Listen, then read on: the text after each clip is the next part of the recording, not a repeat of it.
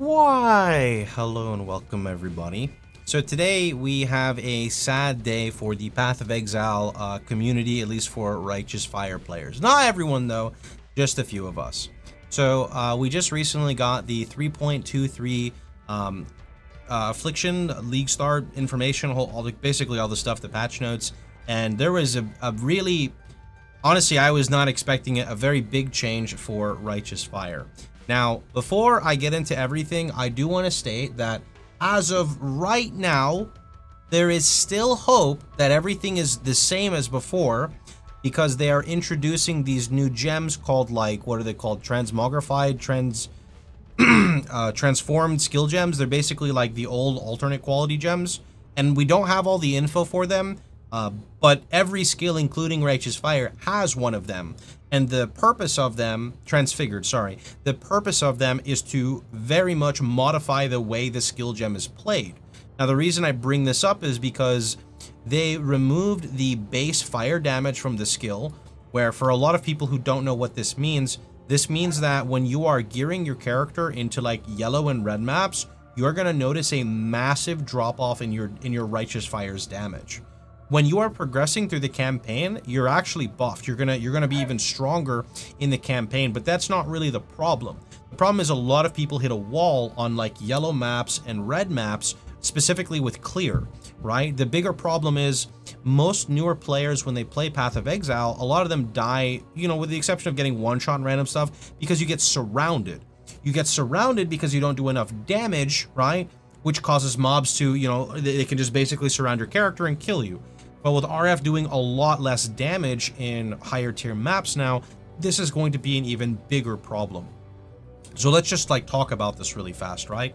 So it used to do uh, a lot of base damage, right? This base damage is so important because one of the biggest factors, if you've watched any of my content, looked at the POBs, you'll notice that you scale plus the level of gems specifically plus one level of all spell skills, plus one level of fire. This is very good for a number of reasons. It scales your fire trap and your righteous fire at the same time.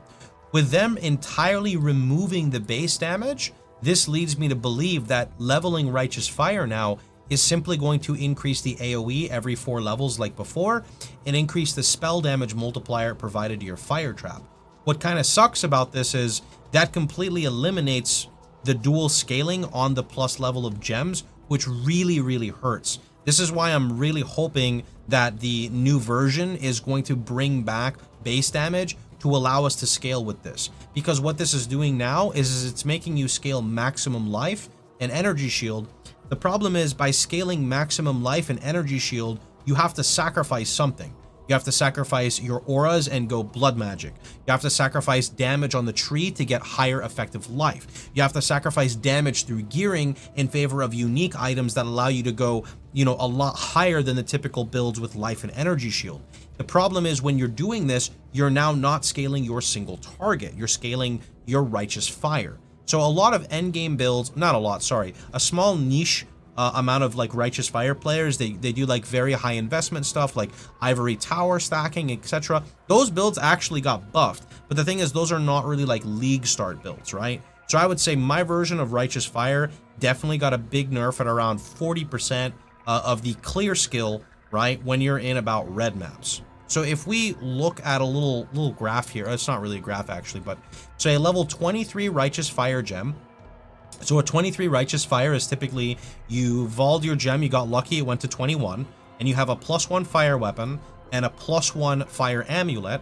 This totals to 3,679 base damage, right?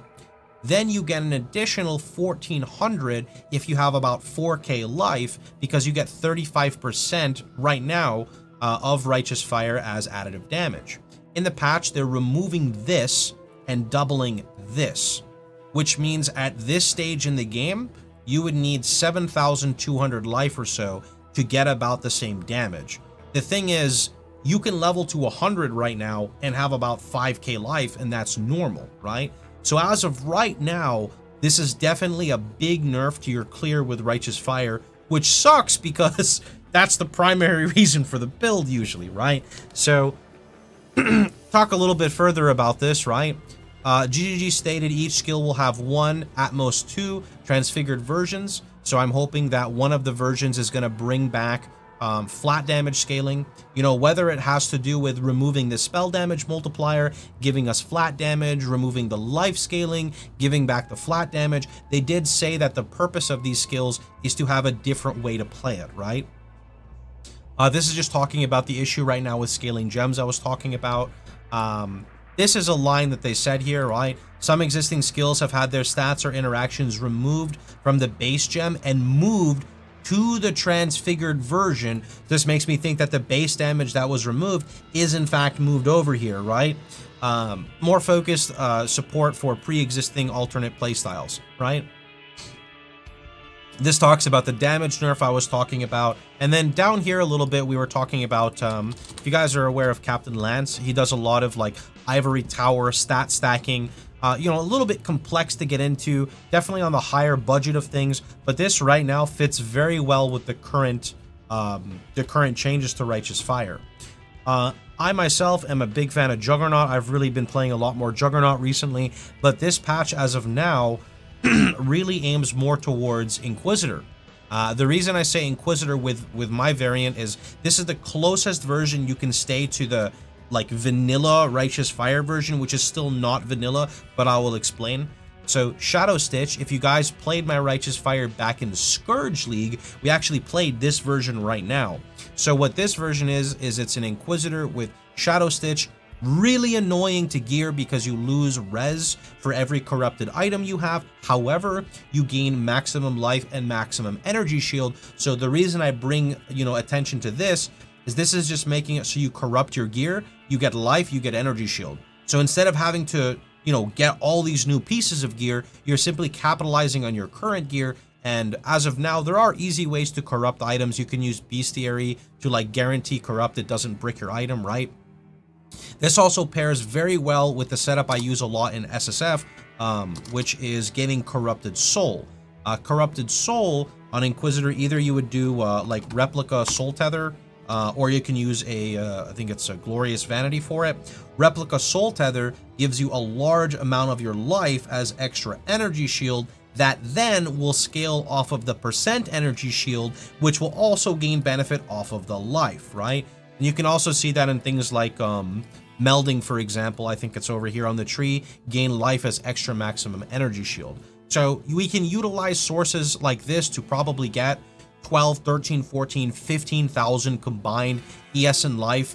That's going to be on a higher budget, but definitely reasonable compared to, uh, you know, some of these other extreme forms of things. As of right now, I want to say that RF is not really at all in the league star it was before.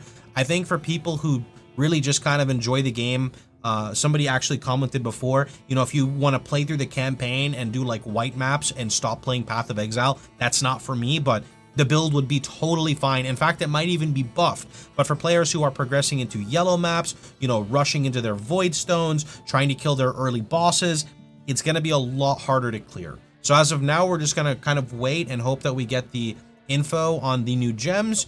So, uh, you know, I'm kind of sad. My SSF runs are definitely going to take a hit from this. If you guys don't know, I'm mainly an SSF player. This is why it hits me so close to home.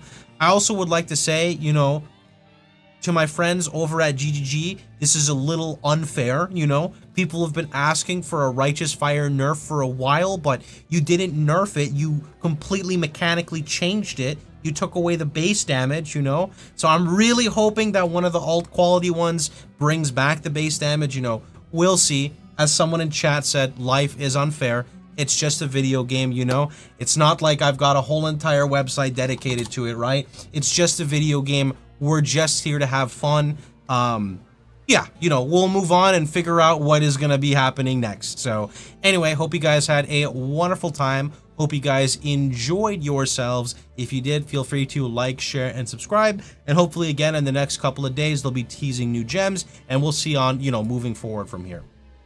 Catch you guys all later and thanks for watching.